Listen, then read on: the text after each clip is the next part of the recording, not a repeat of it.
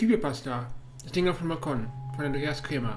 Spät Nachmittag war es, als Marinus endlich seine letzten Zeilen in seinen Computer eintippte den Feierabend begrüßen, begrüßen konnte. Seit heute Morgen um 8 Uhr hatte er vor der Kiste gesessen und schätzungsweise 10 DIN A4 Seiten an Texten für seine Kunden geschrieben. Ein normales Tagespensum, was für den erfahrenen und promovierten Redakteur, der ein Content Office betrieb, keine Herausforderung darstellte für sein, und für sein Einkommen sorgte. Gott Leben sah anders aus, denn nur alle zwei Jahre konnte er sich einen Urlaub leisten. Er verzichtete bewusst auf ein Auto. Stattdessen düste er mit seinem Elektroroller von A nach B und nutzte, vor allem für, und nutzte ihn vor allem für Kurzstrecken. Marinus lebte im zweiten Stock eines modernen Mietshauses in einer unscheinbaren Stadt. Der Umzug vor wenigen Wochen hatte seine Spuren hinterlassen. Noch immer standen Kartons voller Klamotten und, anderer, und anderen Krimskrams herum. Ja, die Trennung von seiner unehrlichen Ex Katinka, Katinka wirkte nach. Tolles Leben, dachte der Mitreißiger laut, als er seinen Rechner herunterfuhr und ein, einmal gähnte. Draußen wehte ein starker Wind, der die Bäume leicht knarzen und in den Jalousiekassen knacken ließ. Müde schlurfte er in seinen Sneakern von einem, von seinem minimalistischen Büro in sein Wohnzimmer und schaute vom Fenster aus auf den Balkon.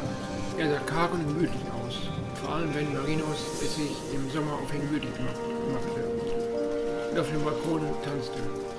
Die wirkte er ein wenig unheimlich, da er wegen des trüben nassen April weder den berauchten Loassisch noch die schlichten grünen Plastikstühle aufgestellt hatte.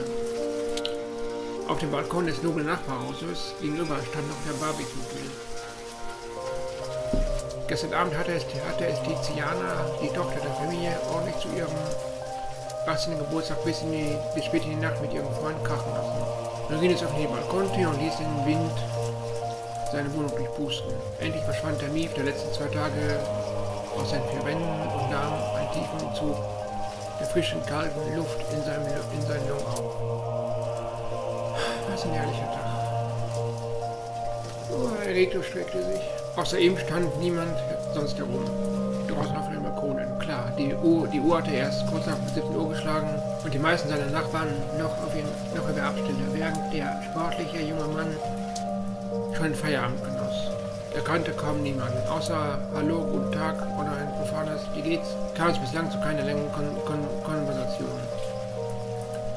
Merkwürdige Leute sind das, alle so eigen und immer auf sich selbst bedacht. Schloss Marinus die Tür als er zu sehr bibberte, sich kurz geschlossen seinen Rucksack auf den aus dem Schlafzimmer packte und zum Fitnesscenter stapfte. Keine zehn Minuten später stand er im Studio, zog sich um und besuchte seine geliebte Tanzfitnessstunde. Trainerin Nadine war einfach der Hammer mit ihren Moves zu lateinamerikanischen Musik. Eine Stunde zu heißen Rhythmen getanzt, ließ Marinus all seine Sorgen vergessen und vom Alltag abschalten. Ja, er liebte Zumba und, und und hatte vor wenigen Wochen sogar eine Trainerschein geschafft. Jetzt durfte er selbst das weltweit erfolgreichste Tanzmäßigsprogramm unterrichten. Doch bis dahin stand Üben auf dem Plan. In der Zwischenzeit war es dunkel geworden. Die düstere Finsternis schien undurchdringlich. Heftiger Wind peitschte ihm auf dem schlecht beleuchteten Hinweg, Heimweg ins Gesicht, der ihn entlang eines Supermarktes führte. Das Atmen fiel ihm zunehmend schwerer, je schneidiger der Wind wurde und machte einen kleinen Luftsprung, als er endlich vor der Haustür stand. Er hätte doch lieber seine dicke Winterjacke anziehen sollen. Doch er hasste fette Jacken und bevorzugte T-Shirts, Pullover oder leichte, dünne Sportjacken. Mit zitternden Händen holte er den Haustürschlüssel hervor, als er ein Rascheln neben sich, neben sich vernahm. Der frierende Mann schaute in die Richtung, woher das Geräusch kam, doch zuckte mit den Schultern und rannte in das zweite Stockwerk. Flink den Wohnungsschlüssel herausgeholt, die Tür geöffnet und schon spürte er die wohlige Wärme, als er seine Wohnung betrat. Sein Rucksack in die Ecke geknallt, zog es ihn sogleich in seine beengte Küche. Marines nahm drei Bananen, zwei Kiwis, einen Apfel und Heidelbeeren für seinen abendlichen Smoothie aus der Obstschale. Zu kochen verspürte er keinerlei Motivation. Er warf das Obst zusammen mit einer dicken Scheibe scharfen Ingwers, drei Teelöffel Kokosflocken und einen ordentlichen Schuss Zimt in seinen geliebten Hochleistungsmixer. Mit satten Getöse wie ein Düsenflieger ratterte der Mixer los, zerkleinerte die Zutaten mit einem Glas fettarmer Milch zu einem samtigen, feinen Powersmoothie. Als aktiver YouTuber griff er zu einer Trinktasse mit einem flotten, mit dem flotten Schriftzug Born to Dance, die zu seinem Merch gehörte, und füllte sie mit seinem geschmeidigen, flüssigen Abendmahl. Gemütlich schlenderte er mit der Tasse in der Hand zum hölzernen Wohnzimmertisch. Sein Blick schweifte nach draußen, wo absolute Düsternis herrschte. Plötzlich vernahm er ein heftiges metallisches Knacken. Geistesgegenwärtig drehte er die Jalousien der Balkontür und die des Fensters herunter. Ein Beben ließ die Tasse auf den Tisch um einige Zentimeter abheben. Plitsch, platsch, schwappte die Hälfte des Inhalts heraus und verteilte sich auf, den glatten, auf der glatten Oberfläche des Holztisches. Mist, verdammt nochmal! Er rannte zur Küche und packte sich ein feuchtes Küchenpapier, mit dem er das Desaster aufwischte. Er schaute vom Tisch auf, schreckte zusammen als ein, als ein greller roter Strahl durch die Schlitze der Jalousie trat und die Wand hinter ihm in allen, in allen vier Himmelsrichtungen abtastete. abtastete. Ein tiefes Fauchen ließ ihn erschaudern das mysteriöse Licht verschwand für einen Moment. Erlaubt sich da jemand einen üblen Scherz mit einem Laserbräuter? Er schlürfte bedächtig eine Tasse, da sein Magen knurrte. Erneut wagte er einen Blick auf das Fenster und sagte voller Ehrfurcht zusammen. Jemand oder etwas Gigantisches hatte sich auf dem Balkon aufgebaut breit, breitschultrig mit kräftigen Armen und einer stabilen, muskulösen Statur, vermutete er, als er die Silhouette, Silhouette des Dings erblickte. Mit einem Mal hämmerte das etwas auf die Jalousie ein, was Marinos ein Stück weit von, von, der, von dem Tisch die Tasse haltend zurückweichen ließ. Von Nervosität trank er die Tasse leer und stellte sie zackig auf den Boden ab. Zu hastig getrunken, hustete er, hustete er, rang nach Luft und war nach einer gefühlten Ewigkeit wieder in der Oberhand. Trink langsamer. Seine Augen starr auf das Fenster und Balkon verweilend. Das Hämmern ging unbut weiter. Mit jedem Schlag gab die Jalousie, die aus soliden grauen Kunststoff bestand, mehr nach. Wieso reagierte keiner der Nachbarn?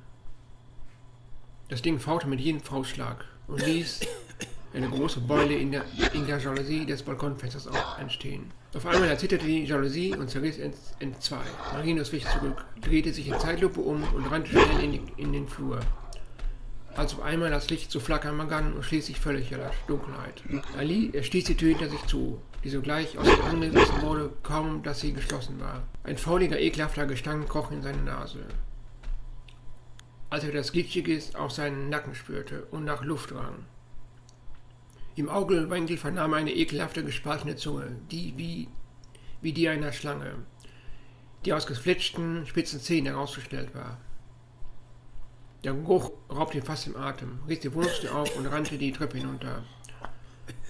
Als die Hölle um ihn herum losbrach, im Treppenhaus empfing ihn das finstere Nichts, das sofort durch grünes Laserlicht und vorbeizischende Kugel unterbrochen wurde. Rennen Sie weiter zur Haustür, selbst! Wir retten Sie. Sie sind der Letzte. Laufen Sie zügig. Vernahm eine kräftige Männerstimme in seine Richtung. Schnell Marinus ihm konnte, düster, düster zur Haustür hinunter, öffnete sie und rannte in die Arme eines vermummten, schwer bewaffneten, maskierten Soldaten, den er Atemmaske trug. Marinus wich zurück, rang nach Luft, als er einen Atemzug machte und eine orang und orange Nebelschwaden umherwabern erblickte. Also nichts außer Nebel, als ihm der Mann eine Atemmaske überzog und hart am Arm packte. Hinter sich nahm, vernahm ein markerschüttendes Kreischen, als die Kugeln das Ding, welches ihn verfolgt hatte, traf und sein Leben aushauchten. Immer schwarzen, in einem schwarzen Leichensack trugen Soldaten das Wesen davon. Merginius erschrak, als er in ein furchtbar stilles Gesicht schaute. Sein Körper wirkte echsenartig, schleimig, übel riechend und, und seine mit langen, spitzen Kragen bewehrten Hände bedrohlich. Die Schlangenzunge hatte, hatte sich widerlich ge gekräuselt. Sie sind in Sicherheit. Tun, tut uns leid, dass wir nicht eher kommen konnten. Wir sind unterwegs aufgehalten worden. Ein außerirdisches Bakterium hat jeden zweiten Menschen in dieser Stadt in ein fleischfressendes Riesenmaus verwandelt. Wir bringen sie in die Evakuierungszone weit außerhalb, weit außerhalb der, der Stadt, erklärte der Soldat im Knapp. Sergeant Caesar, begleiten Sie Marinus Copper zum Helikopter. Wir jagen die verdammte Stadt in die Luft. Sie haben die Befehle. Fall der Soldat, der sich, der sich nun als Befehlshabender herausstellte, in einem sehr unterge einen untergebenen. Irritiert kletterte Marinus mit, mit, dem, mit beiden in den Helikopter. Der Transporthubschrauber von Typ Chinook hob ab. Sie wollen meine Heimstadt zerstören? Warum? Wir haben, ja, wir haben Lecherville hermetisch aufgegegelt. Alle Zugänge bereits gesprengt oder gesperrt. In zwei Minuten wird ein T ER-3B Tarnkappenjäger die Stadt mit, mit einer Kobaltbombe von der Landkarte tilgen. Tut mir leid, doch wir müssen die Invasion aufhalten, die hier ihren Anfang nahm. Wir konnten ein Viertel aller Bewohner retten. Versuchte Gläser ihm die Lage in ruhiger Tonlage deutlich zu machen. Plötzlich vernahm Marinus ein pulsierendes Geräusch. Hey, Kleiner, keine Sorge, die THW-3 ist, ist gerade mit ihrem Impulswerk über uns hinweggedonnert. Gleich macht es Bumm. Sprach ein dürrer Soldat, schnalzend, schmalzend grinsend, der mit seinen Händen eine, eine Turmpilz formte. Officer McBeer, Pete, bitte bewahren Sie Kontenance gegen, gegen uns Zivilisten. Rief Gläser seinen Kollegen zur Ordnung. In, dieser, in diesem Moment schüt, schüttelte die Schockwelle den Helikopter leicht durch. Marinus drehte sich zur Seite und sah durch eines der Bullaugen des Chinook, wie er seine Stadt in einem grellen Lichtblitz vom Antlitz der Erde verschwand. Ja Leute, das war mein erster Keepbuster, die ich jetzt vertont habe. Und ich hoffe, sie gefällt euch. Und falls ja, Daumen hoch, nicht Daumen runter. Über ehrliche Kritik bin ich ganz dankbar, auch, auch mit äh, halt konstruktive Kritik. Dann sage ich mal bis zum nächsten Mal, bis zum nächsten Keepbuster. Euer Andrea.